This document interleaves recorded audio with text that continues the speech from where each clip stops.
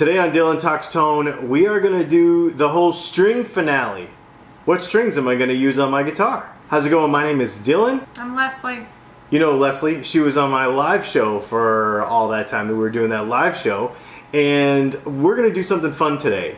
For the last seven weeks, we've been putting one set a week on my Breedlove Premier over here, and we have been just trying out different strings. The fun part about it is that she's been actually taking them out of the package and handing me the raw strings so that I don't know what brand it is or where they came from or anything like that. Couldn't prejudge this one. No, because the whole thing is, it is my opinion that too many people look at packaging, they hear stuff on the internet, and they just make up decisions based on what other people told them. And if somebody says, that string is dumb, or I hate that string, or blah, blah, blah, blah, blah, that won't work, then they just go on that opinion without ever testing this stuff for themselves.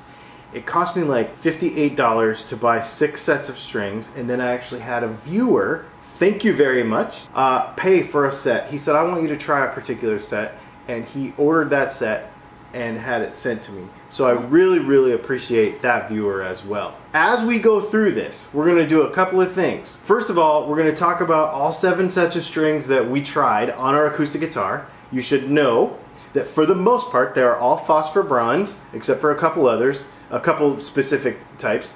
They're all 13s. We tried the same weight, everything. I didn't touch the setup on the guitar. I didn't adjust the truss rod one time. Uh, I used the same pick, the same type of pick, every time for, for the whole test. And for the most part, I played every set of strings for a full week, unless I had a reason not to. As we go through this whole thing and we talk about different sets of strings, I want to hear two things from you. Number one, I want to know what's the most important thing to you about the set of strings that you pick for your guitar.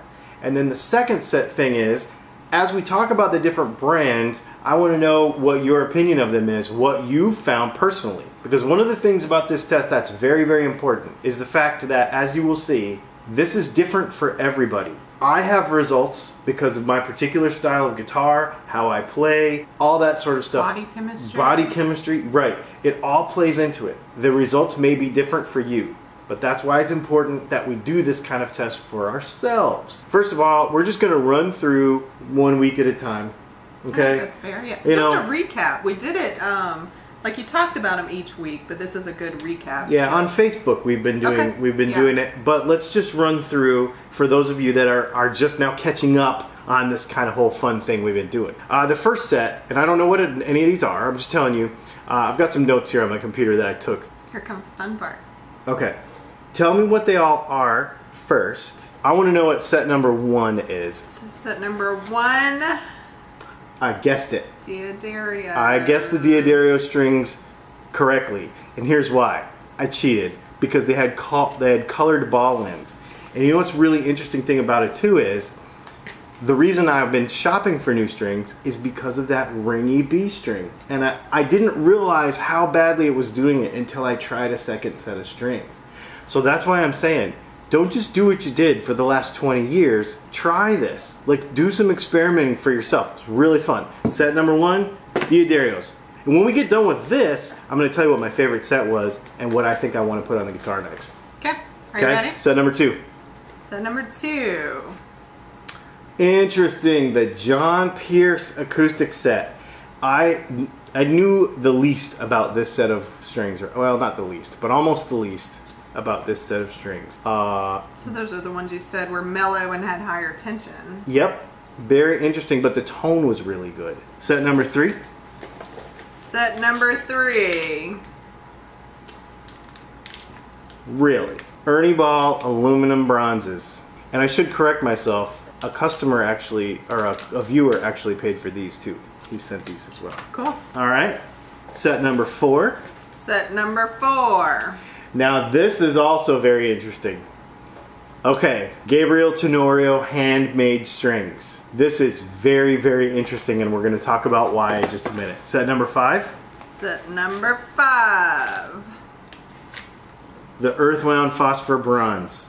And they made my fingers black. Very interesting. So why? Are I- they it- coated? no, but there's something to the All of them are phosphor bronze, though. Uh, this is aluminum bronze. That's phosphor bronze. and that's phosphor bronze. Something about these strings, I don't know, it made my fingers all black. right, all right. All right, set number six. I knew it. I knew it. Okay. I knew it. They felt slimy. They felt slimy. They felt like they had coating on them. They felt slimy. And what's okay? So we're gonna we'll go through we'll go through this, and I'm gonna tell you some things. Well, let's just do the last one. All right. I already know what the last one is. Okay, and I actually knew what these were too. So Cleartones. Okay, so now let's talk about the anatomy of each of these strings, and I'm going to go back through this now that I know what they are. I had no idea. I tried to, and I, I tried not to. I tried to guess at first, and I knew it wasn't going to work. This is really, really fun. And actually, week one, you were adamant until later in the testing. You were adamant. I have it written down. That they were elixirs. Yes. Yeah, because they were so weird sounding. Yeah, no, that is really true. Okay, so let's do give you some backstory. And I know this video is a little longer than our normal ones, but this is a lot of stuff and a lot of things I really want you to think about and and take all this and then go and say, let me do this for myself. Because the string is the number one most important thing, in my opinion, on an acoustic guitar, especially to your tone, because it's how you interact with the instrument. So let's talk about the differences and why I came up with the opinions that I came up with. And it's really fun to understand that now that I know what the strings are. So week one, D'Addarios. This makes sense. This is the whole reason why I wanted to change strings. My Breedlove came from the factory with these D'Addarios on it. I've been using it for about two years, but I've not played the guitar very much. I was like, you know what? I just want to try something else. I made a post on Facebook. Everybody's like, put elixirs on it. And I'm like, I don't like elixirs. And Leslie's like, Leslie's like, you're just saying that because you don't like elixirs. You should really test this. That's what inspired this whole thing. And I wanted to do it without knowing what was in the package because I didn't want my brain being told by packaging or by anything else just feel and sound. That's it. So this has been super fun. Week number one makes sense. Week number two, John Pearse. I don't know anything about these strings, um, but I'm going to tell you that this was my second. I only have two favorite sets out of all seven. This is my second favorite set. Uh, this was really good, really good set of strings. The only thing that made them second favorite to me was the tension was a little higher, and it made it a little bit harder on my fingers to play the way I like to play. I could go down to 12s, but that's a whole nother ball game, and I love my 13s, and I want to stick with 13s. This is my second favorite set. These aluminum bronzes felt completely different from anything else. I really, really dig those a lot. Gabriel Tenorio, this is the set that somebody actually paid $25 for this set of strings. I put them on the set, on the guitar, I immediately hated them. Didn't like them, couldn't stand them, they're too stiff, they felt like rails. I let other people play this guitar, they was like, it's too stiff. Now, I know that he has a lot of loyal followers, and I know that it sounds like I'm bashing on his product. I have a 25 and a half inch scale guitar with a pinless bridge, and I have a whole lot of reasons why my particular setup and how I play is these are not for me. When you think, when you go and look at all this stuff, all this data, you got to remember that you might like a stiffer string than this. So maybe this is for you. The only reason I didn't like them is because they were stiff. That is really the main reason. But I didn't, I couldn't wait to get them off the guitar. Ernie Ball Earthwound, they sounded fantastic and they felt fantastic. But they made my fingers black and they just annoyed me and I just didn't want to deal with it. Why do you say Oh, wound? Earthwood. No, it is Earthwood. You're right. I just didn't like them uh, because they made my fingers black. There again, though, That's body chemistry, yeah. it is right. So if if you are sweat different or you live in a different part of the country or who knows what, you might really like these. In fact, I really, really did like them, except for that. Elixirs doesn't even need to be said. Um, I don't like coated strings. I just don't. I never have. Probably never will. I could pick them out, even though I was wrong the first time. Uh, once they, they were on the guitar, I immediately understood that they were coated, They, they felt funny to me. They did not stay in tune as well, which I that really surprised surprises me now that I know that what they are. For sure. Um, that's very interesting. Now let's talk about Cleartones. This almost made my top three list, and in fact, I would say this is my third favorite string. The reason they did not make my favorite list, but this right here, these were my favorite string for a very, very long time. We actually put these on all of our guitar builds. Yep. We put these on all the Dylan guitars. I really, really, really, really like these strings. The reason they're not my favorite is because when you first put them on, they're not a coated string, they're a treated string. So when you first put them on the guitar, they're on there now. They have like a feeling of stuff on the strings that you kind of like have to wear off the mm-hmm. string for it to feel good. Did not like that. Then the other thing I didn't like, and I'll show you a close up of this, the windings on the strings at the ball end came too far up on the string. You won't probably won't have this problem if you have a pin bridge like on a Gibson or on a Martin I or a Taylor.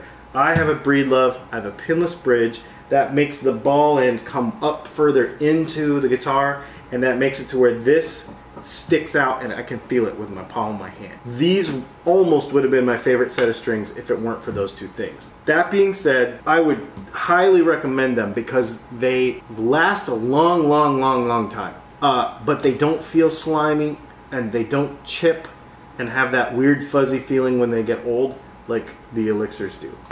Um, these are, as far as a treated string, these are way better. And I do kind of have a bias towards them because we used to use them on our brand.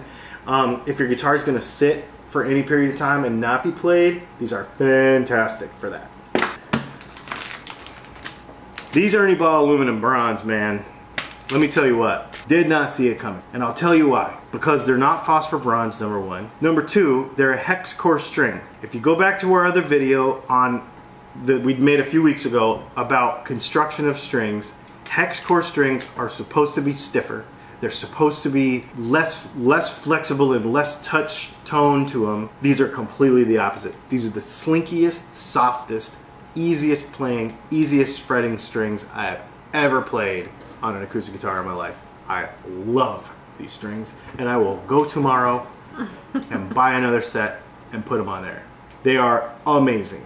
They are loud, they play good, they sound good. Uh, I don't know. They're my favorite.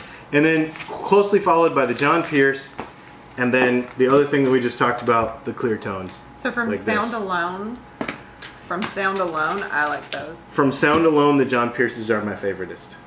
I mean, me too. That's what I'm yeah. telling you. Really? That's interesting. I mean, I have to listen to you play it. Right. Um, they are my favorite also. These have a weird sound to them and they sound a little better as they get older in my opinion. You get four or five days of playing them every day and they sound a little better in my opinion.